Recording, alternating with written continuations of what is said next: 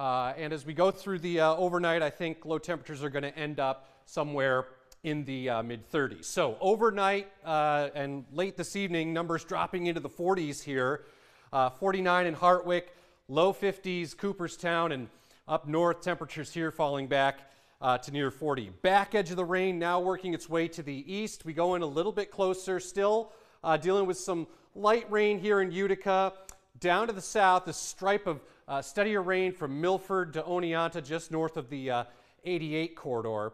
Then we go into the weekend, and here comes the cooler air filling in. There's this little disturbance to the north that's going to swing through on Sunday with a passing rain or snow shower through the course of the day. So the wet weather moving away, a little bit of clearing uh, possible by later tonight. And did you know that parts of central New York are considered abnormally dry, a little bit of a drought, but that's nothing compared to the uh, extreme and exceptional drought down here across Dixie.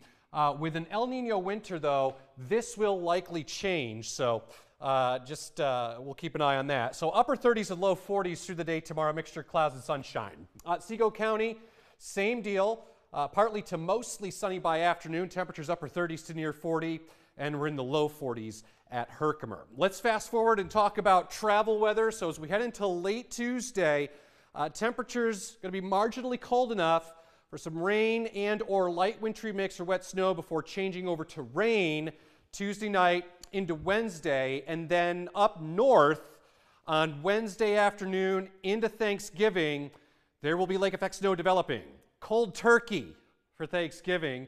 Nothing worse than snow flurries here locally, and then bright sunshine, but staying cold as we head into Black Friday. But on Thanksgiving Day, with the sufficiently colder air moving over the still relatively warm lakes east of Lake Ontario and south of Buffalo, the south towns, uh, the lee side Lake Erie, we could see some plowable snow for the lake belts on Thanksgiving Day. Not here, though. We'll keep you posted how the wind direction will evolve because a small wind shift makes all the difference.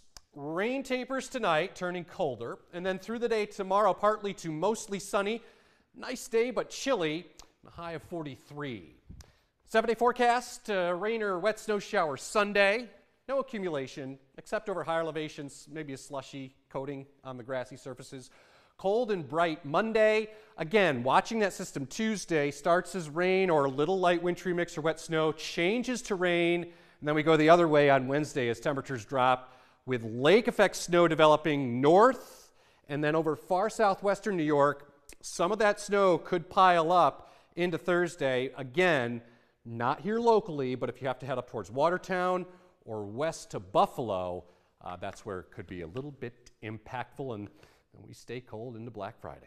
All right, Craig, thank you. Next after this break, a Utica area OBGYN staying in prison. The latest on Dr. Neulander's murder conviction appeal coming up.